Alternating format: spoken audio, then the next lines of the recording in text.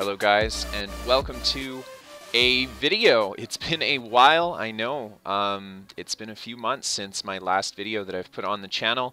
Um, and uh, I thought uh, that I'd do a little bit of a comeback video because I have been gone for so long. So the first question you guys are going to ask, of course, is Jack, why were you gone so long? Or Kristofer, depends where you know me from, either in-game or YouTube. Um, I was pretty sick, and I don't really want to make that a focus of my channel. You know, I'm feeling a lot better now, but I did have to take some time off to focus on my health, which is, uh, I think, a good call on my part. But I am coming back to ESO now. Um, I am I am coming back, uh, and I'm going to be making a lot of content again. I'm going to be continuing to stream regularly as well. Um, so the break is over, and I'm excited to be back.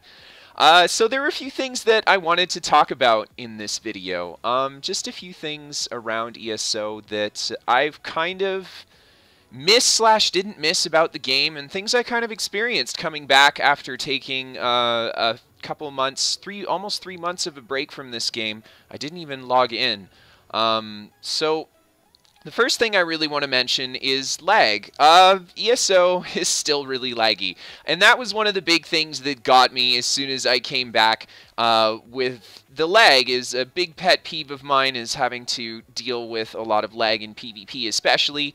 Um, and uh, yeah, that's something that ZeniMax, I think, really needs to work on. Here you see, awesome little fight here with this DK. He actually pops the invisibility potion, um, and I just stand around waiting. I know he popped the invis pot, just want him to come back out of stealth to fight me. But very interesting play by him. I have never fought a Stam DK that pops an invisibility potion like that on me. Um, so that's pretty cool. But yeah, so that's something I'd love to see. Uh, maybe ZeniMax work on a little bit in this game.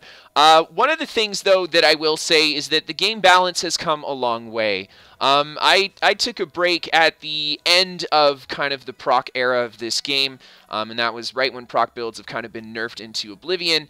And uh, it was nice to to enjoy some PvP where proc builds were not the meta. I honestly have to say that PvP feels very balanced. I mean, there's obviously this tank meta and, uh, you know, I think that's very common in a PvP game. More people just want to survive rather than focus on, uh, you know, getting the kill on their opponent. I think that's more of a common goal for a player is you, you can either get the kill or do you want to survive. And a lot of people choose the survival route, and I'm actually okay with the tank playstyle. I mean, they did nerf heavy armor coming into Clockwork City, but the tank playstyle is something that I don't mind fighting because I play heavier DPS builds, and uh, my heavier DPS builds usually can kill a tank build.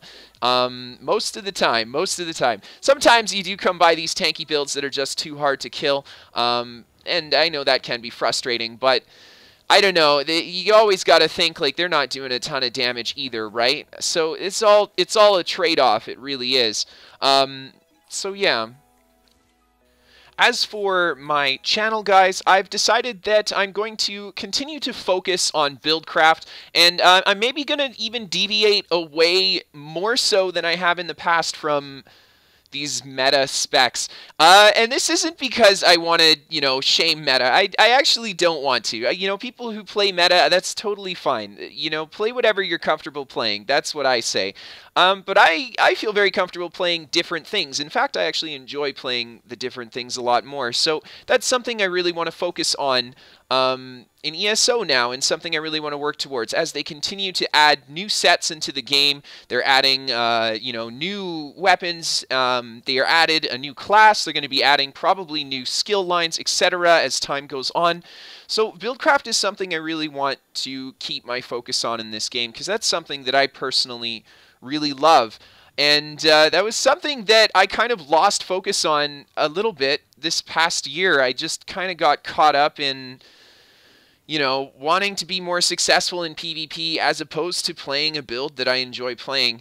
And I know that success comes with, you know, enjoying what you're playing, but I personally think that you have a better time when you play something original, something you really like to play, something you can call your own, and uh, that's that's really what I'm going to be focusing on coming back into the into ESO.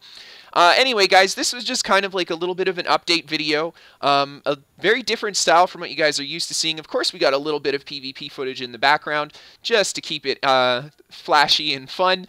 But anyways, I hope you guys enjoyed the video. As always, if you liked what you saw here, feel free to hit that like button, and I'll see you guys next time.